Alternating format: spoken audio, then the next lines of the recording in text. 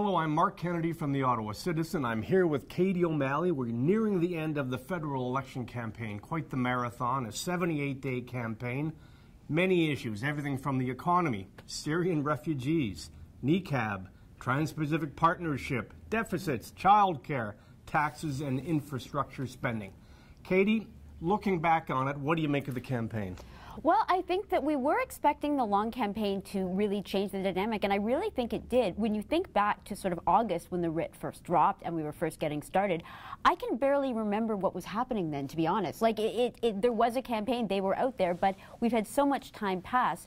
I think that when we eventually look back at this election and figure out why things happened the way they did, the, the that that sheer uh, the sheer marathon quality of this election definitely I think played a role. Now, as we head into the final weekend, it looks as though the polls are showing the Liberals are ahead. Lord knows if that means it's a victory, but it shows they're ahead. And but also in the dying days, they have their own little controversy to deal with, and that is the resignation of their co-chair.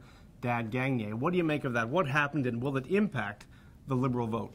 Well, this is, of course, the uh, the co-chair who sent a letter, apparently responding to a request from his friends at TransCanada, explaining, to be fair, in extremely general terms, kind of how they should go about lobbying the next government, whoever it should be, on the Energy East project. But for obvious reasons, the optics of this are just horrific. Having someone who's sort of a co-chair of the campaign in a situ, uh, providing advice like that is just, you know, it is wildly inappropriate.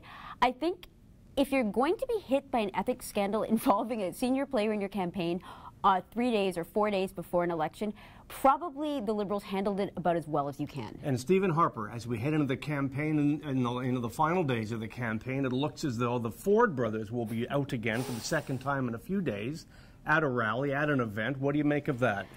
I find this just bizarre, I have to say. It, it, really feels like a decision that was made, I don't know, by the party or the Fords or some sort of combination of the two. I don't know, it just, it sort of smacks of this desperation, which is kind of not the message you want to be sending as you're closing out your campaign.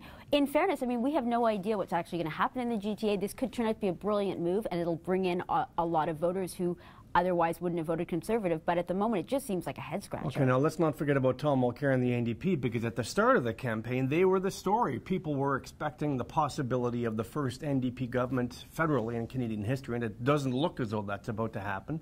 What went wrong, and how can they recover some of that vote in the next two or three days? You know what? I'm going to be honest. I don't actually know what went wrong. We can point to a couple of things, but it really just seems as though once the election again started rolling, and particularly when we hit that uh, that September, when people kind of started tuning in, the NDP just started to cruise downwards. You can't really point to one issue or one policy or one you know event that happened. I will say that I think that had he performed better in the debates, we might be having a very different conversation right now. Okay, so that's that was campaign 2015. Don't forget to go out and vote on Monday. And certainly come back to us at the Ottawa Citizen. We'll be having full campaign coverage on election night and the days after that.